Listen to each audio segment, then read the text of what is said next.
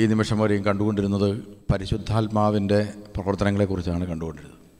പരിശുദ്ധാത്മാവായ ദൈവം അനാദിയിലെ പ്രവർത്തിച്ചു തുടങ്ങി. ദൈവത്തിന്റെ സ്വപ്നമായിരുന്നു നമ്മളൊക്കെ നമ്മളെയൊക്കെ ദൈവം സൃഷ്ടിച്ചു ഈ ഭൂമിയിലാക്കി. പക്ഷേ മനുഷ്യൻ അവന് കിട്ടിയ ഒരു സ്വാതന്ത്ര്യമുണ്ട്. തിരഞ്ഞെടുപ്പിന്റെ സ്വാതന്ത്ര്യം. അതന്നുമുണ്ട് അവന് ഇന്നുമുണ്ട്. അപ്പോൾ ഈ സ്വാതന്ത്ര്യത്തിൽ അവൻ ദൈവത്തെ തിരഞ്ഞെടുത്ത് ദൈവത്തിന്റെ വാക്കുകളെ തിരഞ്ഞെടുത്ത് അവൻ മുന്നോട്ട് പോകണം. അതാണ് ദൈവത്തിന്റെ ആഗ്രഹം. അതിനുവേണ്ടി ദൈവം നമ്മെ സ്വാതന്ത്ര്യം നൽകിയ സ്നേഹം ഒരു അടിമയായിട്ടല്ല സ്വാതന്ത്ര്യം നൽകിയ ശേഷം സ്നേഹത്തോടെ വിളിക്കുകയാണ്. നന്മ തിരിച്ചറിഞ്ഞ് നന്മ അറിഞ്ഞ് മനസ്സിലാക്കി അവന്റെ പിന്നാലെ പോവുക. എന്നാൽ മനുഷ്യന്റെ ഒരു പ്രത്യേകത അവന്റെ ചായ്ച്ചിലുകൾ എപ്പോഴും പാപത്തിലേക്കാണ്.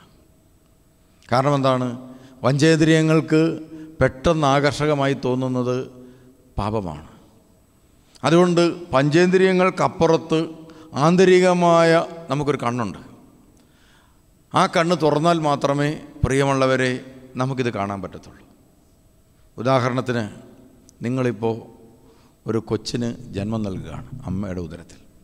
ദൈവം നമ്മളെ സൃഷ്ടിച്ചതുപോലെ തന്നെയുള്ളൊരു പ്രവൃത്തിയാണ് ഒരു കൊച്ചിന് അമ്മയുടെ ഉദരത്തിൽ ഒരപ്പനും അമ്മയും ജന്മം നൽകുന്നത്. ദൈവത്തിന്റെ അതേ സെയിം പ്രവൃത്തിയാണ് ഇവിടെ ചെയ്യുന്നത്. കുറച്ച് ദിവസം കഴിഞ്ഞപ്പോൾ നമ്മൾ മനസ്സിലാക്കുകയാണ് ഈ കൊച്ചിന് മുന്നോട്ട് ജീവിക്കാനായിട്ട് സ്വല്പം പ്രയാസങ്ങൾ വരും. ഇത് മുന്നോട്ട് ജീവിക്കാൻ ഇച്ചിരി പ്രയാസം വരും. അങ്ങനെ ജീവിക്കണമെങ്കിൽ നിങ്ങൾ എന്ത് ചെയ്യേണ്ടി വരും? നിങ്ങൾ ഈ ജോലി ചെയ്തുകൊണ്ട് ഇങ്ങനെ മുന്നോട്ട് പോകാൻ പറ്റും. നിങ്ങൾക്കൊരു രണ്ട് ലക്ഷം രൂപ ശമ്പളമുണ്ട്. അത്രയും വലിയ ജോലി നിങ്ങൾ ചെയ്തുകൊണ്ടിരിക്കുകയാണ്. അപ്പോഴാണ് ഇത് ഗർഭം ധരിച്ച് ഒരു രണ്ടോ മൂന്നാലഞ്ച് ആഴ്ചകൾ കഴിഞ്ഞപ്പോൾ ഡോക്ടർമാർ നിങ്ങളോട് പറയുകയാണ് ഇതാ ഈ കുട്ടിയെ നിങ്ങൾക്ക് ജീവനോടെ കിട്ടണമെന്ന് നിങ്ങൾ ആഗ്രഹിക്കുകയാണെങ്കിൽ നിങ്ങളെന്ത് ചെയ്യണം? ജോലി രാജിവെച്ചിട്ട് ശാന്തമായി ഒരു കട്ടിൽ കിടക്കണം. നിങ്ങൾക്ക് നേട്ടം ജോലി ചെയ്യാൻ പോകുന്നതാണ് കൊച്ചിന് ജന്മം നൽകാൻ പോകുന്നതാണ്. അതാണ് നേട്ടം. കൊച്ചിന് ജന്മം നൽകാൻ പോയാൽ കഴിഞ്ഞാൽ ഈ ആറുമാസം ഇവിടെ കിടക്കണം. ഇനി ഇതുണ്ടാകണമെങ്കിൽ വീണ്ടും പൈസ മുടക്കണം. ഈ കാലഘട്ടത്തിൽ മുഴുവൻ ശമ്പളം നഷ്ടപ്പെടും. എന്ന് മാത്രമല്ല ഈ കൊച്ചുണ്ടായാൽ ഈ കൊച്ചിനെ വളർത്തണം. വളർത്തി വലുതാക്കിയാൽ ഈ കൊച്ചിൽ നിന്ന് എന്ത് റിസൾട്ട് കിട്ടുമെന്ന് പറയാനും പറ്റുകയില്ല. നിങ്ങൾ കൊച്ചിന് നഷ്ടം മാത്രമേ ഉള്ളൂ ഇതിനകത്ത് കണക്ക്. ഇനി വളർത്തിയവരുടെ ചരിത്രം നോക്കിയാലും അറിയാൻ സാധിക്കും. പ്രിയമുള്ളവരെ നമ്മൾ കണ്ണുകൾ ഉയർത്ത് നോക്കിയാൽ വളർത്തിയവരുടെ എല്ലാം ചരിത്രത്തിൽ നോക്കിയാൽ പ്രിയമുള്ളവരെ വളർത്തിയതിനെക്കുറിച്ചൊക്കെ ഓർത്ത് കരഞ്ഞ ചരിത്രമേ ഉള്ളൂ. നിങ്ങളുടെ ഇവിടെ ഇരിക്കുന്ന ഏത് വ്യക്തികളുടെ മാതാപിതാക്കന്മാർ നിങ്ങളെ ഓർത്ത് കരഞ്ഞിട്ടില്ലാത്തത്? നിങ്ങളുടെ വാക്കോ നിങ്ങളുടെ പ്രവൃത്തിയോ നിങ്ങളുടെ നിലപാടുകളോ ഓർത്ത് വേദനിക്കാത്ത ഏതെങ്കിലും എന്നെക്കുറിച്ച് ഓർത്ത് എന്റെ അപ്പനും അമ്മയ്ക്കും ഒരിക്കലും വേദനിക്കേണ്ടി വന്നിട്ടില്ലെന്ന് സന്തോഷത്തോടെ പറയാൻ പറ്റുന്ന ഒരു കൈവക്കിക്ക്. പിന്നെ നിങ്ങൾ അതിൽ കൂടുതൽ പ്രതീക്ഷിക്കണം നിങ്ങളുടെ മക്കളിൽ നിന്ന്? ഒരിക്കലും പ്രതീക്ഷിക്കരുത്. അപ്പോൾ ഇതൊരു നഷ്ടക്കച്ചവടമാണ് പ്രിയമുള്ളവരെ. എന്നിട്ടും എന്നിട്ടും നിങ്ങൾ എന്ത് ചെയ്യാണ് നിങ്ങൾ അന്നേരം തന്നെ എന്ത് ചെയ്യാണ് ഈ ഉരുവായ കുഞ്ഞിനെ ഒരു മനുഷ്യനായി ഭൂമിയിൽ ജന്മം കൊടുക്കാൻ വേണ്ടി നിങ്ങൾ എന്ത് ചെയ്യാണ് ജോലി വേണേൽ രാജിവെക്കും. എത്ര ലക്ഷം രൂപയുടെ ഇഞ്ചക്ഷൻ വേണേലും എടുക്കും എത്ര എന്ത് ത്യാഗം എടുക്കും. ഏത് ഹോസ്പിറ്റലിൽ വേണേലും പോകും. ആ കൊച്ച് പുറത്ത് വരാൻ പോവാണ്. അപ്പോൾ ആ കൊച്ച് അതിനുണ്ടാകുന്ന എല്ലാ റിസ്ക്കുകളും നിങ്ങൾ സഹിക്കും. പുറത്ത് വന്നാലോ? പ്രിയമുള്ളവരെ ആ കൊച്ചിന് ഹാർട്ടിന് വലിയൊരു കിഴുത്തിയുണ്ട്. ഹാർട്ട് മാറി വെക്കണം. നിങ്ങൾ ആകപ്പാടെ സങ്കടത്തിലെ നിങ്ങൾ ഡോക്ടറോട് ചോദിച്ചു എന്തെങ്കിലും ചെയ്യാൻ പറ്റുമോ ഡോക്ടർ പറഞ്ഞ് ഇതേ ടൈപ്പുള്ള ഒരു ഹാർട്ട് നമുക്ക് എവിടെ നിന്നെങ്കിലും കിട്ടുകയാണെങ്കിൽ മാറ്റി വെക്കാം. അപ്പോഴാണ് തിരുവനന്തപുരത്തൊരു കൊച്ചു ആക്സിഡന്റ് മരിച്ചു. ഹാർട്ടിരിപ്പുണ്ട് പ്രിയമുള്ളവർ അത് തിരുവനന്തപുരത്തു നിന്ന് കൊണ്ടുവന്ന് കൊച്ചി കൊണ്ടുവന്ന് മാറ്റി വെക്കണമെങ്കിൽ ആംബുലൻസിൽ അന്നേരം ഇത്ര മണിക്കൂറിനുള്ളിൽ കയറ്റിക്കൊണ്ട് വരണം. ഒരു പത്തിരുപത്തഞ്ച് ലക്ഷം രൂപ ചിലവ് ആകണം ഇല്ലാത്ത കാശ് നിങ്ങളുടെ സ്വർണവും പണവും പിന്നെ അടുത്തുള്ളവരുടെ നിന്നെല്ലാം കാശും മേടിച്ച് ലോണും മേടിച്ച് നിങ്ങൾ ഈ കൊച്ചിന്റെ ഹാർട്ട് മാറ്റി വെക്കാൻ നോക്കും. ചിലപ്പോഴൊക്കെ ഞാൻ തന്നെ ഓർത്തിട്ടുണ്ട് രക്ഷപ്പെട്ടാൽ ഒരിക്കലും ആരോഗ്യത്തോടെ ഇരിക്കില്ലെന്ന് നൂറ് ശതമാനം ഉറപ്പുണ്ടായിട്ടും ആ ജീവന് വേണ്ടി ഇതാ പൊരുതുന്ന മാതാപിതാക്കന്മാർ. സത്യത്തിൽ ഇതിന്റെ പിന്നിലെ പ്രേരക ശക്തി എന്താ? നഷ്ടക്കച്ചവട. ഡോക്ടേഴ്സ് തന്നെ ഓർക്കും ദൈവമേ ഇതിനെ രക്ഷപ്പെടുത്തിയാൽ ഞാൻ ഇന്ന് ഓർക്കാറുണ്ട് ഏഴാം മൈലിൽ ഒരു കൊച്ച് ആ കുട്ടിക്ക് പ്രിയമുള്ളവരെ ഉണ്ടായിക്കഴിഞ്ഞപ്പോൾ ഒത്തിരി പ്രോബ്ലംസാണ് അതിന്റെ ഈ ഇവിടെ നിങ്ങളൊരു ഞരമ്പുണ്ട്. ആ ഞരമ്പില്ല. വെള്ളം ഒഴുകി പോകേണ്ടതുകൊണ്ട് ഞരമ്പാണ് അതിന്റെ അതില്ല. പിന്നെ മലദ്വാരത്തിന്റെ പ്രശ്നമുണ്ട്. അതുകൊണ്ട് വയറ് കിഴിച്ച് ഇങ്ങനെയൊക്കെ കൊടുത്തിരിക്കുകയാണ്. അങ്ങനെ മൊത്തത്തിൽ ആ കൊച്ചിന് കംപ്ലൈന്റ് ആണ്.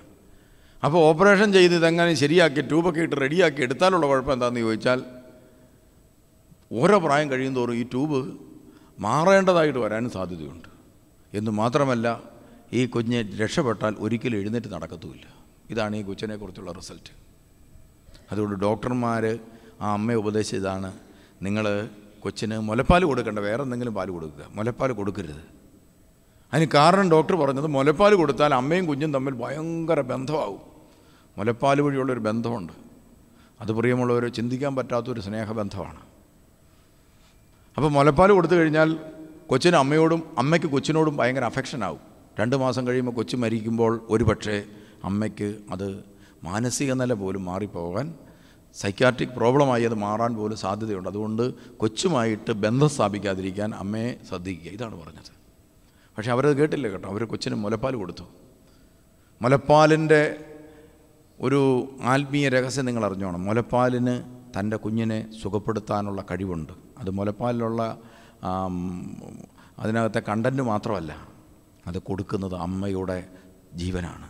അതുകൊണ്ട് കൂടിയാണ് അപ്പോൾ മുലപ്പാലൊക്കെ ആ കൊച്ചിന് കൊടുക്കുന്നുണ്ട്. അപ്പോഴാണ് അവരുടെ അപ്പൻ ആ പെണ്ണിന്റെ അപ്പൻ ഇവിടെ വന്ന് ഞാൻ അച്ഛനാണ് എന്നോട് വന്ന് പറഞ്ഞ് ഈ കാര്യങ്ങളെല്ലാം പറഞ്ഞിട്ട് പറഞ്ഞ് ആ തിരുമേനി അതിനൊരു വീട്ടുമാമോദീസ കൊടുക്കണം. കാരണം കൊച്ചു മരിച്ചു എന്നാണ് പറഞ്ഞിരിക്കുന്നത്. മൂന്ന് മാസം കഴിയുമ്പോൾ കൊച്ചു മരിക്കും.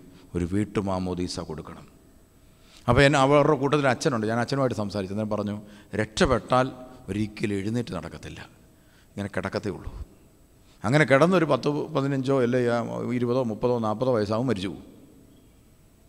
അങ്ങനെ മുപ്പത് വയസ്സ് വരെ കിടന്നേച്ച് മരിക്കുന്ന ഒരു കൊച്ചിന് വേണ്ടി ഒരപ്പനും അമ്മയും ത്യാഗം എടുക്കേണ്ട കാര്യമുണ്ടോ? അവർക്ക് പിന്നീട് ജീവിതത്തിൽ ഒരിക്കലും പുറത്ത് പോകാൻ സ്ത്രീക്ക് പുറത്ത് പോകാൻ പറ്റത്തില്ല. എന്ത് സംഭവിച്ചെന്നറിയോ? ഞാൻ വീട്ടുമാമോദിസായ്ക്ക് പോകുമ്പോൾ മരിക്കാൻ പോകുന്ന കൊച്ചിന് മരിക്കുന്നതിന് മുമ്പ് വീട്ടുമാമോദിസ കൊടുത്താൽ പള്ളിയിലടക്കാൻ പറ്റും. അതാണ് സംഭവം. ഞാൻ ഇവിടുന്ന് മാമോദിസ മുക്കാൻ വേണ്ടി പോയി. ഞാൻ അവിടെ ചെന്നു. എന്റെ മനസ്സ് പറഞ്ഞുകൊണ്ടിരിക്കുന്നത് ഈ കൊച്ചു രക്ഷപ്പെടും ഈ കൊച്ചു രക്ഷപ്പെടും. അപ്പം ഞാൻ പറയും ഈ കൊച്ചു രക്ഷപ്പെടരുത്. എന്റെ മനസ്സ് പറയുന്ന ഈ കൊച്ചു രക്ഷപ്പെടരുത് രക്ഷപ്പെട്ടാൽ എഴുന്നേക്കാൻ മേലാതെ കിടക്കും. ഈ കൊച്ചു രക്ഷപ്പെടരുത്. ഇതാണ് എന്റെ മനസ്സ്. ഉടനെ എന്റെ ഉള്ളിൽ നിന്ന് കൊച്ചു രക്ഷപ്പെടും കൊച്ചു രക്ഷപ്പെടും. ഞാനത് മൈൻഡ് ചെയ്തില്ല. കൊച്ചു രക്ഷപ്പെടുമൊന്നും വേണ്ട. എന്ത് കൊച്ചു രക്ഷപ്പെട്ടു? ഇപ്പോൾ പതിനാറ് വയസ്സ് വരെ ഇങ്ങനെ കൊച്ചു രക്ഷപ്പെട്ടിട്ട് ഇങ്ങനെ കിടക്കാനായിട്ടാണോ? എന്നൊക്കെ ഞാൻ എന്റെ മനസ്സിൽ പറയുന്നത് പറയുന്നത് പരിശുദ്ധാത്മാവിനോടാണെന്ന് എനിക്ക് ബോധ്യമില്ല. ഈ ലോകം മുഴുവൻ സൃഷ്ടിച്ചവനാണ് എന്നോട് പറയുന്നത് രക്ഷപ്പെടും. ഞാൻ എങ്ങനെ വിശ്വസിക്കും പ്രിയമുള്ളവർ? നിങ്ങളുടെ ഉള്ളിലിരുന്ന് ഒരാൾ പറയുക രക്ഷപ്പെടും. നമ്മുടെ ബുദ്ധി നമ്മളോട് പറയുന്നു രക്ഷപ്പെടുകയല്ല. നമുക്ക് ഏത് വിശ്വസിക്കാൻ പറ്റും? നമ്മളെ നയിച്ച ബുദ്ധിയല്ല നമുക്ക് വിശ്വസിക്കാൻ പറ്റത്തുള്ളൂ. അതാ നമ്മുടെ പ്രശ്നം. ഞാൻ രണ്ടും അങ്ങ് വിട്ട്. എന്റെ ജോലി എന്താ? മാമോദിസ കൊടുക്കുക. അല്ലാതെ രക്ഷപ്പെടുകയോ രക്ഷപ്പെടാതിരിക്കുകയോ ചെയ്താൽ ഞാൻ എനിക്കെന്നെ പ്രശ്നം? ആ ഒരു നിലപാടിലേക്ക് ഞാൻ വന്നു. അതോടുകൂടി ഞാൻ ഫ്രീ ആയി ഇല്ല തലവേദന എടുക്കും. ഞാൻ ചെന്ന് വീട്ടു മാമോദീസ കൊടുത്ത് തിരിച്ചു പോന്നു. ഞാൻ ഇടയ്ക്കിടയ്ക്ക് വിളിച്ചു ചോദിക്കും മരിച്ചോ? പ്രിയമുള്ളവരെ മരിച്ചില്ലെന്ന് മാത്രമല്ല കൊച്ച് ജീവിച്ചു. കൊച്ച് എഴുന്നേറ്റ് നടന്നു. അതിന് അതിനുശേഷം വർഷങ്ങൾ കഴിഞ്ഞ് ഞാനിതെല്ലാം മറന്നു. ഞാൻ ഈ ദേവാലയത്തിന്റെ പിരിവുമായി ബന്ധപ്പെട്ട് ഒരു വീട്ടിലേക്ക് കയറി ചെല്ലുകയാണ് ആ എട്ടാം മൈൽ ഭാഗത്ത്. ഞാൻ കയറി ചെല്ലും അവർ ഇങ്ങനെ പറഞ്ഞിട്ടുണ്ടായിരുന്നു ആ വീട്ടിൽ ചെല്ലണമെന്ന് ഏത് വീടാണെന്ന് എനിക്ക് അറിഞ്ഞുകൂടാ? ആളുകളോട് പറഞ്ഞു ഞങ്ങളുടെ വീട്ടിൽ വരണം. ഞാൻ കയറി ചെല്ലുമ്പോൾ പ്രിയമുള്ളവരെ തലേ തുണിയൊക്കെ ഇട്ടൊരു കൊച്ചു പെങ്കൊച്ച് കാലിന് ഏതാണ്ട് ഇതൊക്കെ ഇട്ടിട്ടുണ്ട് ചെറിയ ബെൽറ്റോ ഏതാണ്ടൊക്കെ ഇട്ടിട്ടുണ്ട് നടന്ന് നടന്ന് വരുന്നു അവിടെ കുരിശ് വരയ്ക്കുന്നു. അവൻ ഞാൻ ചോദിച്ചു നിങ്ങളിപ്പോൾ എവിടെയാണ് താമസിക്കുന്നത് അതെ ഈ കൊച്ച് ഈ കൊച്ചാണ് ആ കൊച്ച്. അവൾ ഭയങ്കര പ്രാർത്ഥനക്കാരിയാ മരിയ. പ്രിയമുള്ളവരെ അവൾ പൂർണ ആരോഗ്യത്തോടെ നടക്കുന്നു. ഞാൻ പഠിച്ച സ്കൂളിൽ ഈ അടുത്ത കാലത്ത് ഞാൻ ചെന്നു. അപ്പോൾ അവിടെ ഒരു കൊച്ചിരിക്കുന്നു. ഞാൻ ഈ കൊച്ചിന് മറ്റേ കൊച്ചിന്റെ ഒരു ഷേപ്പ് ഉണ്ടല്ലോ. കുറച്ചു നേരം കഴിഞ്ഞപ്പോൾ ഞാൻ നോക്കിയപ്പം അവളുടെ അമ്മ വന്ന് ഈ കൊച്ചിനെ അഞ്ച് നാലാം ക്ലാസ്സിൽ അഞ്ചാം ക്ലാസ്സിൽ പഠിക്കുന്നു കൊച്ചിനെ എടുത്തുകൊണ്ട് പോകും അവർ ഞാൻ അന്നേരത്തിനും അവരെ വിളിപ്പിച്ചു. അപ്പോൾ അവർ അധ്യാപകരോട് പറഞ്ഞു ഈ കുഞ്ഞ് മരിച്ചു പോകേണ്ടതായിരുന്നു. പ്രാർത്ഥിച്ചപ്പോൾ കർത്താവ് സൗഖ്യപ്പെടുത്തിയതാണ്. എന്റെ അധ്യാപകരെല്ലാം എന്നോട് ഭയങ്കര സ്നേഹമുള്ളവരാണ്. അവരുടെ മധ്യത്തിൽ ഈ കുടുംബം സാക്ഷ്യപ്പെടുത്തി. ഉണ്ടോ അപ്പോൾ പ്രിയമുള്ളവരെ പരിശുദ്ധാത്മാവ് ഒരു കാര്യം നടക്കുമെന്ന് പറഞ്ഞാൽ നടക്കും. അതുകൊണ്ട് പരിശുദ്ധാത്മാവ് പല ഹൃദയങ്ങളിലും പല കാര്യങ്ങളും നടക്കാനുള്ളത് പറയും. അങ്ങനെ പരിശുദ്ധാത്മാവായ ദൈവം ചരിത്രത്തിലേക്ക് ഇറങ്ങി സ്വീകരിക്കാൻ മനസ്സുള്ള ഹൃദയങ്ങളെ പ്രചോദിപ്പിച്ചു. അങ്ങനെ പ്രചോദിപ്പിച്ച ഒരു ഹൃദയമാണ് നോഹ. നോഹയോട് പറഞ്ഞു നോഹ പെട്ടകം ഉണ്ടാക്ക്. പെട്ടകത്തിനകത്ത് കയറണം. ഉടനെ നാട്ടുകാരെല്ലാം കളിയാക്കി. നാട്ടുകാരെല്ലാം പുച്ഛിച്ചു. അന്നുകൊണ്ട് ഇതുപോലെ പുച്ഛിക്കുന്ന ആളുകൾ ഇപ്പോഴത്തെ പോലെ തന്നെ പുച്ഛിക്കുന്ന ആളുകൾ അന്നുമുണ്ട്. പുച്ഛിച്ചു. പക്ഷേ മഴ പെയ്തു. പെട്ടകം പൊങ്ങി. പെട്ടകത്തിൽ അനേകായിരങ്ങൾ രക്ഷപ്പെട്ടു. അവർ ഇതാ പിൽക്കാലത്ത് ലോകത്തിൽ ആ നോഹ നോഹയുടെ കാലത്ത് അവരെല്ലാം ആ പിന്നീട് അവിടെ ജീവിച്ചു. അതിനുശേഷം അബ്രഹാമിനെ ദൈവം തിരഞ്ഞെടുത്തു. മക്കളില്ലാത്ത അബ്രഹാമിനെ ദൈവം മക്കളുണ്ടാകാൻ വേണ്ടി തിരഞ്ഞെടുത്തു. അതാ ദൈവം. പരിശുദ്ധാത്മാ പറഞ്ഞു അസാധ്യങ്ങൾ സാധ്യമാക്കുമെന്ന് വെളിപ്പെടുത്താൻ ആണ് അബ്രഹാമിനെ ദൈവം തിരഞ്ഞെടുത്തത്. അബ്രഹാമിനും സാറായിക്കും ഒരു തരത്തിലും കുട്ടികളുണ്ടാകുകയില്ല പക്ഷേ അവരിലൂടെ ദൈവം സന്താനങ്ങൾക്ക് ജന്മം നൽകി. അതാണ് ഇസ്രായേൽ അതിനുശേഷം പ്രിയമുള്ളവരെ ഓരോ ചേതനകളിലും പ്രവേശിച്ചു. വിശുദ്ധന്മാരിൽ പ്രവേശിച്ചു. വിശുദ്ധ ജീവിതം നയിക്കാൻ തയ്യാറുള്ളവരിൽ പ്രവേശിച്ചു. സമർപ്പിതയിൽ പ്രവേശിച്ചു. മോശയെ ദൈവം തിരഞ്ഞെടുത്തു. മോശ എങ്ങനെയാണ് തിരഞ്ഞെടുക്കുന്നത്? തല്ലുവടിയും പിടിച്ച് കൊലപാതകം വരെ ചെയ്തേച്ച് നടക്കുന്ന പാർട്ടിയാണ് മോശ. കൊലപാതകം. അങ്ങേര് അവിടുന്ന് പരാജയപ്പെട്ട് തകർന്ന് കുറ്റിക്കാടുകളിലൂടെ നടക്കുമ്പോൾ മോശയെ ദൈവം വിളിച്ചു മോശ മോശ നീ നിൽക്കുന്ന സ്ഥലം വിശുദ്ധമാണ്. നമ്മളിപ്പോൾ ഓർക്കുന്ന എന്താണ്? ഞാൻ എല്ലാ പാപവും ചെയ്ത് നശിച്ച് ഇവിടെ മുടിഞ്ഞ് തീർന്ന് എന്റെ ജീവിതം പോയി എന്ന് വിചാരിച്ചായിരിക്കുന്നത്. കർത്താവ് നമ്മളെ ചൂണ്ട് നീ നിൽക്കുന്ന സ്ഥലം വിശുദ്ധമാണ്. നിനക്ക് വിശുദ്ധനാകാനും ഒരു മാലാകയാകാനും ഒരു പിശാചാകാനും നിന്നെക്കൊണ്ട് സാധിക്കും. ഇപ്പോഴും മരിക്കുന്ന അവസാനത്തെ നിമിഷം വരെയും ദൈവ ചാൻസ് തരും. അവസാനത്തെ നിമിഷം വരെ ആ ചാൻസ് തരും വേണോ വേണ്ടയോ തീരുമാനിക്കേണ്ടത് നമ്മളാണ് ആ ഒരു സാധ്യത നമുക്കെപ്പോഴും തുറന്നു കിടപ്പുണ്ട്. അങ്ങനെ ദൈവം ഇറങ്ങി പ്രവർത്തിച്ച വിശുദ്ധന്മാരിലൂടെ ദൈവം ഈ വെളിപ്പെടുത്തൽ നൽകി. എന്താണ്? മനുഷ്യന്റെ സകല പാപ സ്വഭാവങ്ങളിൽ നിന്നും അവനെ മോചിപ്പിക്കുന്ന ഒരു രക്ഷാകര പ്രവൃത്തിയെക്കുറിച്ച്. ഉൽപ്പത്തി ആറ് അഞ്ച് മുതലുള്ള വചനം വായിച്ചേ. ഉൽപ്പത്തി ആറ് അഞ്ച്.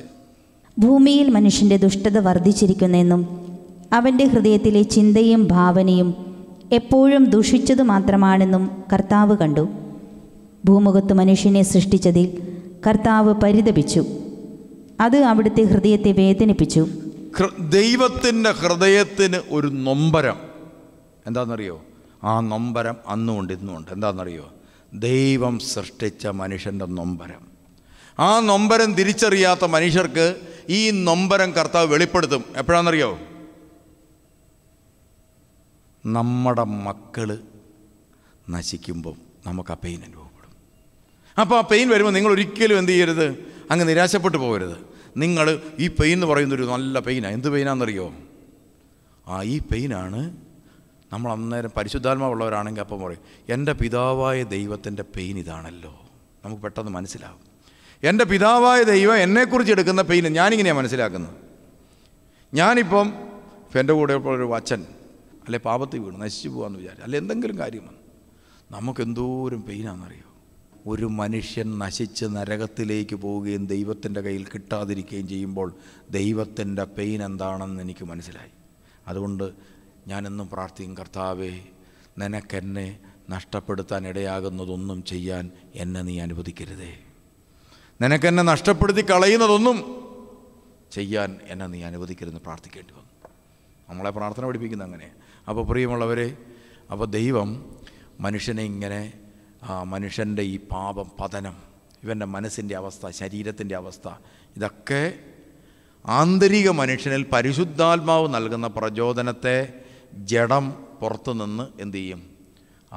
എതിർക്കാൻ തുടങ്ങും. അതിന് കാരണം എന്താ? പിശാജ് ഇവന്റെ പഞ്ചേന്ദ്രിയങ്ങളിലൂടെ ഉള്ളിലേക്ക് പ്രവേശിക്കും. ഈ അഞ്ച് വാതിലിൽ കൂടിയാണ് പ്രിയമുള്ള നമ്മൾ പലതും കാണുകയും കേൾക്കുകയും ചെയ്യുന്നത്. എന്നാൽ ഇതിലൂടെ അല്ല കാണുകയും കേൾക്കുകയും ചെയ്യേണ്ടത്. മറിച്ച് നമ്മുടെ അന്തരേന്ദ്രിയങ്ങളിലൂടെ കാണാൻ പറ്റണം. ഞാൻ പറഞ്ഞല്ലോ നമ്മൾ ലാഭനഷ്ടങ്ങൾ നോക്കുന്നത് നമ്മുടെ പഞ്ചേന്ദ്രിയങ്ങൾ വെച്ചാണെങ്കിൽ നമ്മുടെ കൊച്ച് ജീവിക്കുമോ മരിക്കുമോ ഇപ്പോൾ യൂറോപ്യൻകാരെല്ലാം നോക്കുന്നത് പ്രിയമുള്ളവർ പഞ്ചേന്ദ്രിയങ്ങളിലൂടെ മാത്രമുള്ള കാര്യങ്ങളെ സ്വീകരിക്കത്തുള്ളൂ. അവർ വിശ്വാസം പോയി. അതുകൊണ്ട് അവരിങ്ങനെ ആലോചിക്കും. ഒരു പെണ്ണ് കൂടെയുണ്ട്. കെട്ടണോ വേണ്ടയോ? സായിപ്പ് തീരുമാനിക്കും. കെട്ടാൻ പാടില്ല. ഇവളെ കൊണ്ടു നടക്കാം. കെട്ടുകയില്ല. എപ്പോഴാണ് കെട്ടുന്നതെന്നറിയോ? അമ്പത് വയസ്സ് കഴിയുമ്പോൾ ഒരു അമ്പത് വയസ്സ് വരെയൊക്കെ കൂടെ കൊണ്ടു നടക്കാം. അതിനിടയ്ക്ക് എല്ലാം പോകും ഇത്. ഇത് പോയിട്ട് വേറെ വരും. ഇതൊരു കൊച്ചുമായിട്ട് പോയി വേറൊരാളുടെ കൂടെ പോകും ഉടനെ വേറൊരാൾ കൊച്ചുമായിട്ട് എന്ത് ചെയ്യും? ഇങ്ങോട്ട് വരും. പിന്നെ കൊച്ചിനെ സൃഷ്ടിക്കേണ്ട കാര്യമില്ല കാരണം കൊച്ചുമായിട്ടാണ് വരുന്നത്. അങ്ങോട്ടും ഇങ്ങോട്ടും ഇങ്ങനെയാണ് പരിപാടി. യൂറോപ്യൻ രീതി ഇതാണ് പഞ്ചേന്ദ്രിയങ്ങളിലൂടെയാണ് ഇവരുടെ ഇടപാട്. അല്ലാതെ ഇവർക്ക് ആന്തരിക ഇന്ദ്രിയങ്ങൾ തുറന്നു കിട്ടിയിട്ടില്ല. ആ വിശ്വാസം പോയി. വിശ്വാസത്തിന്റെ കണ്ണുകൾ അടഞ്ഞു പോയി പാപം മൂലം. അപ്പോൾ ഇവരെന്ത് ചെയ്യാണ്? ഇവർ ചിന്തിക്കുന്ന ഇതാണ്. ഞാനിപ്പോൾ ഇവളെ കെട്ടിക്കഴിഞ്ഞാലുള്ള ദോഷം. ഇവളെങ്ങാനും പിരിഞ്ഞു പോയാൽ എന്റെ സ്വത്തിന്റെ ഫിഫ്റ്റി പെർസെന്റുമായിട്ട് കൂടെ പോകും അതാ നിയമം. പെണ്ണിന് ഫിഫ്റ്റി പെർസെന്റ് കൊടുക്കേണ്ടി വരും ആണുങ്ങൾ. അതുകൊണ്ട് കെട്ടുകയില്ല കണ്ടോ? പഞ്ചേന്ദ്രിയം പ്രവർത്തിച്ചാലുള്ള ദോഷം. ഇനി നിങ്ങൾ ഭാര്യയും ഭർത്താവും നിങ്ങൾ പഞ്ചേന്ദ്രിയങ്ങൾ മാത്രം പ്രവർത്തിച്ചാൽ ജീവിക്കുന്നെന്ന് വിചാരിച്ചു. ഈ അടുത്ത കാലത്ത് അങ്ങനെ രണ്ടുപേരും ഇവിടെ വന്നു. ഭാര്യയ്ക്ക് നല്ല ഭാര്യയും നല്ല ഭർത്താവും. പക്ഷേ ഇവർ തമ്മിൽ അടിച്ച് പിരിയാൻ പോവുകയാണ്. അപ്പോൾ പിരിയാനുള്ള എല്ലാ ലക്ഷണങ്ങളും കാണിച്ചു തുടങ്ങി. ഭാര്യ പറയുന്നു എനിക്ക് ടെൻഷനാണ്. ഞാൻ ചോദിച്ചു എന്താ ടെൻഷൻ? ഇങ്ങേര് വീട് പണിതു. അപ്പോൾ ഇങ്ങേരുടെ പേരിലാണ് ഇങ്ങനെ മേടിച്ചത്. നാളെ ഇങ്ങേരെന്നെ ഉപേക്ഷിച്ച് കഴിഞ്ഞാൽ ഈ വീട് ഇങ്ങേരുടേതുമാകും ഞാൻ ലോൺ എന്റെ പൈസയും കൂടെ എടുത്ത് ലോൺ അടയ്ക്കും. അതുകൊണ്ട് എന്നാ രണ്ട് പേരുടെയും വീടിൽ പേരിൽ വീട് എഴുതണം. അതാണ് ഒരു ടെൻഷൻ. കുറച്ച് ദിവസം കഴിഞ്ഞപ്പോഴത്തേനും ഓർത്തു രണ്ട് പേരുടെയും കൂടെ പേരിൽ വീട് എഴുതിയിട്ട് ഇനിയിപ്പം പിരിയുകയാണെങ്കിൽ എന്നാ പറ്റും? ഈ വീട് അങ്ങനെ വിഭജിക്കുന്നത്? നാളെ ഒരു ഡൈവേഴ്സ് വന്നാൽ അതുകൊണ്ട് എന്റെ പേരിൽ വീട് എഴുതണം. ഞാനല്ലേ കാശടയ്ക്കുന്നത് അതുകൊണ്ട് പിന്നെ അതായി പ്രശ്നം. ഇങ്ങനെ ഭയങ്കര പ്രശ്നങ്ങളാണ് ഇവരുടെ ജീവിതത്തിൽ. ഒരു പ്രശ്നത്തിനും കാരണമില്ല. ഇതുപോലത്തെ കാരണങ്ങളാണ് ഇവരുടെ പ്രശ്നങ്ങൾ. കാരണം എന്താണെന്നറിയോ? ഇവരുടെ അന്തരേന്ദ്രിയങ്ങളൊന്നും തുറക്കപ്പെട്ടിട്ടില്ല. സ്നേഹത്തിന്റെ കവാടങ്ങളെല്ലാം അടഞ്ഞു. സ്നേഹിക്കാൻ അറിയാൻ മേല. അങ്ങനെ അളക്കാൻ പറ്റാത്ത ഒത്തിരി കൃപകളുണ്ട്. അത് പരിശുദ്ധാത്മാവ് നൽകുന്നതാണ്. അതൊന്നും ഇവരിൽ വർക്കൗട്ട് ചെയ്യുന്നില്ല. അതിവർ അളക്കുന്നുമില്ല. ഇവർ ചിന്തിക്കുന്നത് കാശേ കാശേ കാശേ കാശേ. പണം സ്വത്ത് കാശ് ഡൈവോഴ്സ് ചെയ്താൽ എന്ത് ചെയ്യും? അന്നേരം എന്തൊക്കെ ചെയ്യണം? ഡൈവോഴ്സ് ആയില്ല. ഡൈവോഴ്സ് ചെയ്താൽ എന്ത് ചെയ്യും? മക്കളെ വീതം വെക്കുന്ന കാര്യം വരെയാണ് ചിന്തിച്ചുകൊണ്ടിരിക്കുന്നത്. ഡൈവോഴ്സ് ആയില്ല. ഇവർ പിരിയുന്നതിനെക്കുറിച്ച് ചിന്തിക്കുകയാണ്. ഞാൻ ആ ഭർത്താവിനോട് സംസാരിച്ചു. പ്രിയമുള്ളവരെ ഭർത്താവ് അന്നേരം ഓരോരോ മണ്ടത്തരങ്ങൾ കാണിക്കുന്നുണ്ട്. സ്നേഹം മൂത്തിട്ടാണ് ഈ മണ്ടത്തരങ്ങൾ കാണിക്കുന്നത്. ഓരോന്നും. ഞാൻ ആ മനുഷ്യനോട് സംസാരിച്ചപ്പോൾ എനിക്ക് മനസ്സിലായി. സത്യത്തിൽ ഈ ഭാര്യയോട് അടങ്ങാത്ത സ്നേഹം ഈ മനുഷ്യന്റെ മുമ്പിലുണ്ട് ഞാൻ എന്റെ പല ചോദ്യങ്ങൾ ഞാനിങ്ങനെ തിരിച്ചും മറിച്ചും ഒക്കെ ചോദ്യം ചോദിക്കുന്നുണ്ട്. അപ്പോൾ ഒരു മനുഷ്യന്റെ റിയൽ സാധനം ഇങ്ങോട്ട് പുറത്തു വരും. ഞാൻ ഈ ചോദ്യങ്ങൾ ചോദിച്ചു നിങ്ങളെന്തുകൊണ്ടാണ് പിന്നെ അങ്ങനെ ചെയ്ത് നിങ്ങളെന്തുകൊണ്ടാണ് ഇങ്ങനെ ചെയ്തെന്നൊക്കെ ചോദിച്ചു. അപ്പോൾ പുള്ളി ഉള്ളതങ്ങ് പറഞ്ഞു. പുള്ളി പറഞ്ഞു തിരുമേനി അവളോട് പറയരുത്. സത്യത്തിൽ എനിക്ക് അവളെ ഉപേക്ഷിക്കാൻ പറ്റിയിരുന്നു. ഞാനിങ്ങനെ ഒരു കുരുക്കുണ്ടാക്കി വെച്ചെന്തിനാണെന്ന് ചോദിച്ചാൽ അവൾ ഒരിക്കലും എന്നെ വിട്ടു പോകരുത് അപ്പം ഞാൻ ഓർത്തിടാ ഈ മനുഷ്യൻ ഇത്രയും ഇവന്റെ ഇവളെ സ്നേഹിക്കുന്നല്ലോ. എന്നിട്ട് അവൾക്കത് തിരിച്ചറിയാൻ പറ്റുന്നുമില്ല. ഞാൻ നേരത്തെ ആ സ്ത്രീയെ വിളിച്ചിട്ട് ചോദിച്ചു. തിരിച്ചും മറിച്ചും എല്ലാം ചോദിച്ചു കഴിഞ്ഞപ്പോഴത്തേനും പുള്ളിക്കാരത്തി പറയാ കാര്യം ഞാൻ ഈ പൈസയുടെ കാര്യമൊക്കെ ഇങ്ങനെ പറയുന്നുണ്ടെങ്കിലും ഞാനൊരു കാരണവശാലും പുള്ളിയെ വിട്ടു പോകുകയായിരുന്നു എന്നാൽ പിന്നെ ഇത് അങ്ങോട്ടും ഇങ്ങോട്ടും പറഞ്ഞാൽ പോരെ പ്രശ്നം അങ്ങ് തീർന്നില്ലേ? എന്നിട്ട് ഇതെല്ലാം മനസ്സിൽ വെച്ചുകൊണ്ട് ടെൻഷൻ അടിച്ച് നടന്നാണ്. സ്റ്റെയർ കേസിൽ താഴെ പോയി കാൽ ഒടിഞ്ഞിട്ട് ഇവിടെ നടക്കാൻ വരെ ഇരിക്കുക. പരിശുദ്ധാത്മാവ് പെട്ടെന്ന് എന്നോട് പറഞ്ഞു ഞാൻ ചോദിച്ചു ഇതെന്നെ കാലിനെന്നാ പറ്റിയത് എനിക്ക് ബുദ്ധിമുട്ടാണ്. ഞാൻ നടക്കാറാവോ? ഇല്ല. ഇവിടെ വന്നപ്പോഴത്തേന് തീരെ പറയാ പ്രയാസമായിരുന്നു. ഇപ്പോൾ കുറച്ചൊരു മാറ്റം വന്നിട്ടുണ്ട്. ആദ്യത്തെ ദിവസം മുട്ടുകുത്താൻ വരായിരുന്നു ഇപ്പോൾ മുട്ടുകുത്താൻ പറ്റി. കുമ്പിടാൻ പറ്റി. പക്ഷേ നട കയറാൻ പറ്റിയില്ല ഞാൻ പറഞ്ഞു നിങ്ങൾക്ക് ഇപ്പോൾ നട കയറാം എന്ന് പരിശുദ്ധാത്മാവ് എന്നോട് പറയുന്നുണ്ട്. വരാൻ പറഞ്ഞു ഇവിടെ നിങ്ങളുടെ ശാരീരിക വേദന കർത്താവ് ഇപ്പോൾ എടുത്തു മാറ്റുന്നു. പോയി നട കയറാൻ പറയും പ്രിയമുള്ളവർ പുള്ളിക്കാരത്തിക്ക് ഒരു വിശ്വാസം ഇല്ലാത്തതുകൊണ്ട് പുള്ളിക്കാരത്തി ആടെ ഇപ്പോൾ കയറും ഞാൻ പുള്ളിക്കാരത്തി ഇറക്കി വിട്ടിട്ട് ഇയാളോട് എന്തോ സംസാരിക്കാൻ പോവാണെന്ന് വിചാരിച്ചാണ് പുള്ളിക്കാരത്തി പോയത്. പുള്ളിക്കാരത്തി നടയിലോട്ട് കാലെടുത്ത് വെക്കുകയും ഒരു കുഴപ്പമില്ല അടുത്ത കാലെടുത്ത് ഒരു കുഴപ്പമില്ല ഏ? വേദന മാറിയോ? പുള്ളിക്കാരത്തി തിരിച്ചോടി വന്ന് ചോറി. എനിക്കിപ്പോൾ രണ്ട് കാലിന് വേദനയില്ലെന്ന്. അപ്പോൾ ഞാൻ പറഞ്ഞു ഇതെങ്ങനെയാണ് മാറിയത്? ഇത് പരിശുദ്ധാത്മാവാണ് എടുത്തു മാറ്റിയെങ്കിൽ ആ പരിശുദ്ധാത്മാവ് നിങ്ങളുടെ ജീവിതത്തിലുണ്ട്. നിന്റെ സ്വത്ത് സംരക്ഷിക്കാനും നിന്റെ ജീവിതം സംരക്ഷിക്കാനും ആ പരിശുദ്ധാത്മാവിന് സാധിക്കും. പ്രിയമുള്ളവരെ അന്നേരം ശരിയായി അത്. അന്നേരം ജീവിതം ശരിയായി. ഉണ്ടോ കർത്താവിന് ഒറ്റ സെക്കൻഡ് കൊണ്ടൊരു ജീവിതം ശരിയാക്കാൻ സാധിക്കും. ഒറ്റ സെക്കൻഡ് മതി. അപ്പോൾ പ്രിയമുള്ളവരെ പരിശുദ്ധാത്മാവാകുന്ന ദൈവം നമ്മളെ രക്ഷിക്കാൻ ആഗ്രഹിക്കുന്നുണ്ട്. അപ്പം മനുഷ്യന്റെ പഞ്ചേന്ദ്രിയങ്ങൾ വഴി അവൻ എപ്പോഴും പാപത്തോട് ചാഞ്ഞ് ചാഞ്ഞ് കിടക്കുന്നതുകൊണ്ട് അവനെ അവന്റെ ആന്തരിക മനുഷ്യന്റെ കണ്ണുകൾ അടഞ്ഞു പോയതുകൊണ്ട് ഇത് തുറന്ന് അവനൊരു രക്ഷയുടെ അനുഭവം ഉണ്ടാകണം. തുറക്കണേൽ എന്ത് വേണം? ഇവന്റെ മലിനതകൾ മുഴുവൻ മാറണം. അതിന് പരിശുദ്ധാത്മാവായ ദൈവം തയ്യാറാക്കിയ പദ്ധതിയാണ് സുവിശേഷം. മനസ്സിലായോ? പരിശുദ്ധാത്മാവായ ദൈവം മനുഷ്യന്റെ രക്ഷയ്ക്ക് വേണ്ടി തയ്യാറാക്കിയ പദ്ധതിയാണ് പിതാവായ ദൈവത്തിന്റെ ഇഷ്ടപ്രകാരം പരിശുദ്ധാത്മാവായ ദൈവം മനുഷ്യകുലത്തിന്റെ രക്ഷയ്ക്ക് വേണ്ടി തയ്യാറാക്കിയ പദ്ധതിയാണ് സുവിശേഷം. പിടികിട്ടിയ സുവിശേഷം എന്നാന്ന്? ഇനി സുവിശേഷം വായിച്ചോണം. അപ്പോൾ നിങ്ങൾക്ക് മനസ്സിലായിക്കോളും. ഇനി ആ സുവിശേഷത്തിന്റെ പ്രധാനപ്പെട്ട ഘടകം എന്താണ്? സുവിശേഷം. ഇതാ ഒരു ദൂതൻ കന്യകമറിയാമിനോട് വന്ന് പറഞ്ഞു. എന്താ പറഞ്ഞത്? പരിശുദ്ധാത്മാവായ ദൈവം നിന്റെ മേൽ വരും. ഇത് ഈ ചരിത്ര സംഭവം പരിശുദ്ധാത്മാവ് ചെയ്യുന്നതിന് മുമ്പ് അനേകം പേർക്ക് പരിശുദ്ധാത്മാവ് കാലഘട്ടങ്ങളിൽ ഇത് വെളിപ്പെടുത്തി കൊടുത്തിട്ടുണ്ട്. അതാണ് യേശയ്യ പ്രവാചകന്റെ പുസ്തകത്തിലും ഒക്കെ പ്രവചനങ്ങൾ യേശുവിനെക്കുറിച്ച് കിടക്കുന്നത്. പരിശുദ്ധാത്മാവ് ഒരു പ്രവൃത്തി ചെയ്യാൻ പോവുകയാണെങ്കിൽ അതിന് ദിവസങ്ങൾക്ക് മുമ്പ് തന്നെ വർഷങ്ങൾക്ക് മുമ്പ് തന്നെ അതിനെക്കുറിച്ച് സംസാരിച്ചു തുടങ്ങും പല വ്യക്തിയിലൂടെ. അത് അന്നും ഇന്നും അങ്ങനെയാണ് ഞാൻ പ്രിയമുള്ളവർ ഡിഗ്രിക്ക് ഒരു വിഷയം തോറ്റച്ചിരിക്കുക ആ കാലഘട്ടത്തിൽ ഞാൻ കർത്താവിന്റെ വചനം സ്വീകരിച്ചു. പക്ഷേ ഒരു വിഷയം പോയി. അതെന്തുകൊണ്ട് പോയത് എനിക്കും ഒരു പിടുത്തം കിട്ടുന്നില്ല. രണ്ടാമത് എഴുതുക എന്ന് പറയുന്ന നാണക്കേട് അന്നത്തെ കാലത്ത്. ഇന്നത്തെ കാലത്ത് പിന്നെ എത്ര എഴുതിയാലും നാണക്കേടില്ല. അതുകൊണ്ട് ഒളിച്ചും പാത്തുമൊക്കെയാണ് ഈ രണ്ടാമത് എഴുതാൻ പോകുന്നത്. കൂടെ ഉണ്ടായിരുന്നവരെല്ലാം പറയും ഞാൻ പഠിക്കുന്നില്ല പഠിക്കുന്നില്ലെന്ന് പറയും. ഞാൻ ഓർത്ത് ശരിയായിരിക്കും എന്ന് ഓർത്ത് ഞാനും കാര്യമായി പഠിച്ചില്ല. കാരണം കൂട്ടുകാരോടുള്ള ഒരു സഹകരണത്തിന്റെ പേരിൽ ഞാനും വിലയായിരുന്നു അവരെല്ലാം പഠിച്ച് ജയിച്ചു. എനിക്ക് മാത്രം ഒരു പേപ്പർ പോയി. ഞാൻ ഈ പേപ്പർ എഴുതാനായിട്ട് പോകുമ്പോൾ പ്രിയമുള്ളവരെ സി എം ഞാൻ കോളേജ് മാറി വെച്ചു. ബെസേലീസ് കോളേജിന് പകരം സി എം എസ് കോളേജ് വെച്ച്. ഞാൻ അങ്ങോട്ട് പോകുന്ന വഴിക്ക് പുസ്തകം കൈ പിടിച്ചുകൊണ്ട് പോകുന്ന വഴിക്കാണ് മറ്റേ എന്റെ കൂടെ പഠിച്ച പിള്ളേർ പോകുന്നത്. അപ്പം ഞാനിത് എന്നെ പാന്റിന്റെ ഇടത്ത് തിരികെ വെച്ചു. എന്നിട്ട് ആ സി എം എസ് കോളേജിന്റെ അവിടെ ഒരു സാധനം മേടിക്കാൻ പോകാമെന്ന് പറഞ്ഞ് പോയിട്ടാണ് ചാ കോളേജ് ചാടി കയറി.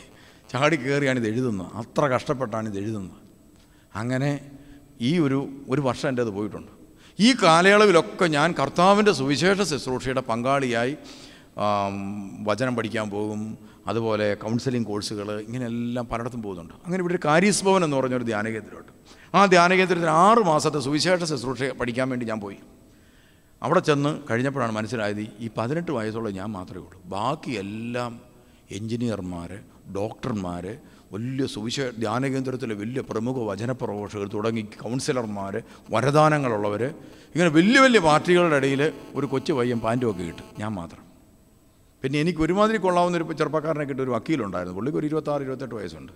അതാണ് നമുക്ക് പറ്റിയൊരു കമ്പനി. ബാക്കി എല്ലാം കിളവന്മാരാണ് പിന്നെ സമർപ്പിതർ കല്യാണം കഴിക്കാതെ പൂർണ സമയം ശുശ്രൂഷയ്ക്ക് വിട്ടുകൊടുത്ത സ്ത്രീകൾ അങ്ങനെയുള്ള വലിയ വലിയ പാർട്ടികളാണ്. അവരുടെ ഇടയിൽ ഞാൻ ഈ തമാശയൊക്കെ പറഞ്ഞ് അവരുടെ കൂട്ടത്തിൽ കൊച്ചു പയ്യനായിട്ട് നിൽക്കുകയാണ്. അങ്ങനെ പല ശുശ്രൂഷകൾക്കും പോയി തെരുവിൽ ഭക്ഷണം കൊടുക്കാൻ പോകുന്നു. അതുപോലെ രോഗികൾ മെഡിക്കൽ കോളേജ് വാർഡുകളിൽ രോഗികളെ പ്രാർത്ഥിക്കാൻ പോകുന്നു. അപ്പോൾ അവിടുത്തെ അച്ഛൻ പറഞ്ഞു വിടും നിങ്ങൾ അവിടെ പോയി രോഗികളുടെ മേൽ പ്രാർത്ഥിച്ചാൽ മതി. നിങ്ങൾ ആ രോഗിക്ക് വേണ്ടി പ്രാർത്ഥിക്കും. നിങ്ങൾക്കൊരു നടുവേന പോലെ തോന്നും. അപ്പോൾ അതിന് മനസ്സിലാക്കണം അവർക്ക് നടുവേന ഉണ്ടെന്ന്. ഏ? അപ്പോൾ നിങ്ങൾ യേശുവിന്റെ നാമത്തിൽ സുഖപ്പെട്ടു എന്ന് പറഞ്ഞാൽ തന്നെ എഴുന്നേറ്റുള്ളൂ എന്നൊക്കെ അച്ഛൻ ഈസി ആയിട്ട് അങ്ങ് പറയുക. അച്ഛൻ പറഞ്ഞ് അങ്ങനെ നടക്കും. അപ്പോൾ പ്രിയമുള്ളവർ ഇതൊന്നും പ്രാക്ടിക്കൽ അല്ലെന്ന് എനിക്ക് മനസ്സിലായി. കാരണം എനിക്ക് പത്തൊമ്പത് വയസ്സേ ഉള്ളൂ. അങ്ങനെ ഇരിക്കുമ്പോഴാണ് ഒരു ദിവസം ചങ്ങനാശ്ശേരിക്കാരൻ മാത്തുക്കുട്ടി. മാത്തുക്കുട്ടി ഒരു റിട്ടയർഡ് എഞ്ചിനീയറാണ് പുള്ളി സുവിശേഷ മേഖല ചങ്ങനാശ്ശേരി അതിരൂപതയിലേക്കാണ്ട് വലിയ പ്രവർത്തനങ്ങൾക്കകത്തൊക്കെ പങ്കാളിയും കൂടിയാണ്. പുള്ളിക്കാരൻ അങ്ങനെ ചുമ്മാ അതും ഇതൊന്നും പറയുന്ന ആളല്ല. നല്ല ബുദ്ധിപരമായ പഠനവും നല്ല പക്വതയും ഒക്കെയുള്ള മനുഷ്യനാണ്. അതുകൊണ്ട് ചുമ്മാ ദർശനവും പ്രവചനമൊന്നും പറയുന്ന ആളല്ല. അങ്ങനെ വല്ലവരും പറഞ്ഞു കഴിഞ്ഞാൽ പറയും ഇതിങ്ങനെ എപ്പോഴും പറയാനുള്ളതല്ലെന്നൊക്കെ പറയും. അങ്ങനെ പുള്ളി അതിനോടൊന്നും അങ്ങനെ അങ്ങോട്ട് സഹകരിക്കുന്ന ആളല്ല. പുള്ളി ഒരു ദിവസം ഭക്ഷണം കഴിച്ചുകൊണ്ടിരിക്കുമ്പോൾ നേരെ ഇറങ്ങി വന്നു എന്നോട് പറഞ്ഞു എടാ മോനെ നിന്നോട് എനിക്കൊരു കാര്യം പറയാനുണ്ട്. ഞാൻ ഇന്നലെ നിനക്ക് വേണ്ടി പ്രാർത്ഥിച്ചപ്പോൾ നിങ്ങളുടെ തലയിൽ ഈ തുണി ഇട്ടുകൊണ്ടൊരു സാധനമില്ല എടാ പാർട്ടിയില്ല. എടാ അതാരാടാ? അപ്പോൾ ഞാൻ പറഞ്ഞു അത് ബിഷപ്പുണ്ട്. പിന്നെ റമ്പാന്മാരുണ്ട് തുണി. ആ. നിങ്ങളുടെ സഭയിൽ തലേ തുണിയിട്ട് നടക്കുന്ന ആളായി ദൈവം നിന്നെ മാറ്റും. ബിഷപ്പല്ലേ ഇത്?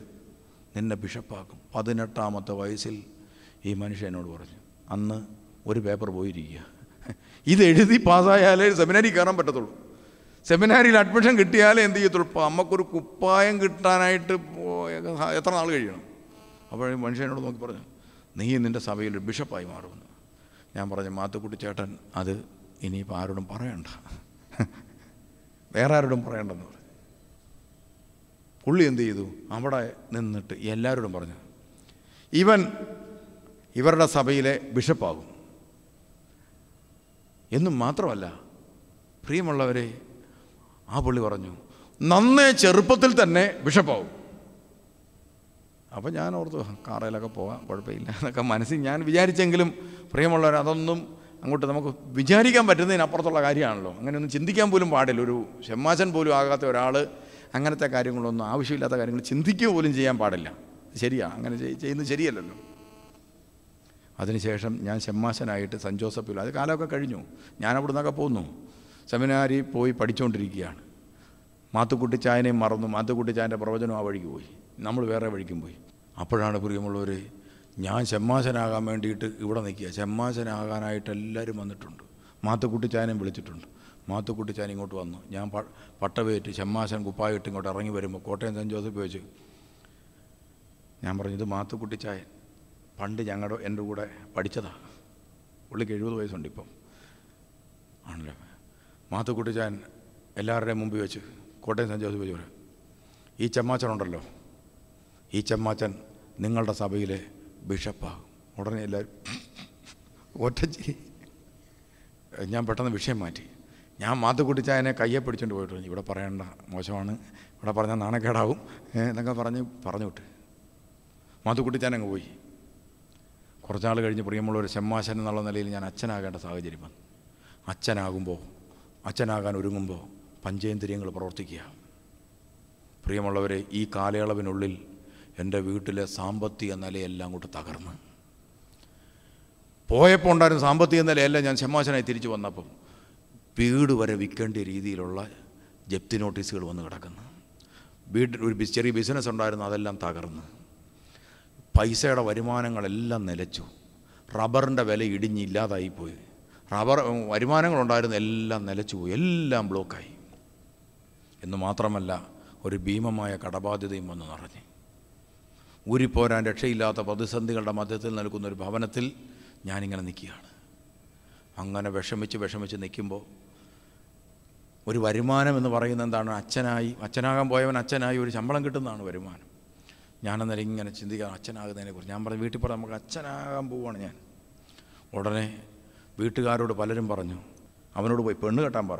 ഇല്ലെങ്കിൽ നാളെ അവസാനം ചാകാൻ നേരത്ത് വെള്ളം തരാൻ ഒരു മനുഷ്യനും കാണുകയില്ല. ഇങ്ങനെ പ്രിയമുള്ളവർ ഒത്തിരി പേരുടെ കഥന കഥകൾ ഞങ്ങളുടെ വീട്ടുകാരോട് പറഞ്ഞതോടുകൂടി വീട്ടുകാരെന്ത് ചെയ്തു? വട്ടം നടന്ന് പെണ്ണ് കാണുക എനിക്ക് വേണ്ടി. അത് വീട്ടുകാർ മാത്രമാണെങ്കിൽ കുഴപ്പമില്ല. ഞാൻ കോട്ടയത്തോട്ട് ചെന്ന് കഴിയുമ്പോൾ ആ ഒരച്ഛൻ ചോദിക്കും നീ ഇപ്പം സെമിനാരി കഴിഞ്ഞിരിക്കുകയല്ലേ? ആ അതെ അതെ. ആ എടാ ഇവിടെ നല്ല പെണ്ണ് നിൽപ്പുണ്ട് നമുക്ക് ഇന്ന് അങ്ങ് പോയേക്കാം. സ്കൂട്ടറിന്റെ പുറകിലോട്ട് കയറിക്കുക അച്ഛന്മാർക്ക് വലിയൊരു താല്പര്യമാണ്. ചമ്മാശന്മാർക്ക് കല്യാണം ആലോചിക്കുന്നത്. കൂട്ടറിന്റെ പുറകെ കയറിക്കും ഇപ്പോൾ പെണ്ണ് കാണാൻ പോവാം. ഞാൻ ഇവിടുന്ന് പെട്ടിയെടുത്ത് പ്രിയമുള്ളവരെ അങ്ങ് അടൂർ തയ്യാറായി പോയി നിന്നു. അടൂർ തയ്യാറായി പോയി നിൽക്കുമ്പോഴാണ് അവിടുത്തെ ഇപ്പോഴത്തെ തിരുമേനി അന്ന് അച്ഛനാണ് അച്ഛൻ എന്നോട് പറഞ്ഞു അപ്പോൾ കൂട്ടുകാർ രണ്ടുപേരും അവിടെയുണ്ട്. കൂട്ടുകാർ ചെന്ന് പറഞ്ഞ് ഈ നമ്മുടെ ഈ സക്രിയാച്ച മാച്ചൻ ദേറാക്കാരനെന്ന് പറഞ്ഞു. ആണോ? ആ. പിറ്റേ ദിവസം ഭക്ഷണത്തിനിരിക്കുമ്പോൾ അദ്ദേഹം പറഞ്ഞ് ചമ്മാച്ച ഒരു കല്യാണം കഴിപ്പം നമ്മളൊന്ന് ഉദ്ദേശിച്ച് നമ്മളിപ്പോൾ കല്യാണം കഴിക്കാത്ത ഒരാളായി നിന്നാൽ എനിക്ക് കുഴപ്പമൊന്നും ഉണ്ടായിട്ടില്ല. ഞാൻ തയ്യാറാക്കാറുണ്ട് പക്ഷേ വളരെയേറെ ബുദ്ധിമുട്ടുകൾ ഈ സഭയെ സഹിക്കേണ്ടി വരും. ഒത്തിരി വേദനകളുണ്ടാവും ഒത്തിരി പ്രയാസങ്ങളുണ്ടാവും. പറഞ്ഞപ്പോൾ ഞാൻ വിചാരിച്ചില്ല ഇത്രയും പ്രയാസം ഉണ്ടാവുമെന്ന്. ഞാൻ വിചാരിച്ച് ഞാനിനി ദേറാക്കാരനാകാൻ താല്പര്യമില്ലാത്തതുകൊണ്ട് പറഞ്ഞതാണ്. ഒത്തിരി വേദനകളുണ്ട് പ്രയാസങ്ങളുണ്ടാവും. ഇവിടെ ഇവിടെ അടുത്തൊരു അച്ഛനൊരു മകൾ നിൽപ്പുണ്ട്. ഞാൻ അച്ഛനെ വിളിച്ച് പറഞ്ഞിട്ടുണ്ട് ചെമ്മാച്ചനൊന്ന് പോയി കാണാൻ. ഞാൻ അവിടുന്ന് ബാഗ് എടുത്ത് നേരെ എന്ത് ചെയ്തു? നാട്ടിൽ ഇവിടെ വന്നു. ഒരിടത്ത് നിൽക്കാൻ മേല. എല്ലായിടത്തും കല്യാണാലോചന.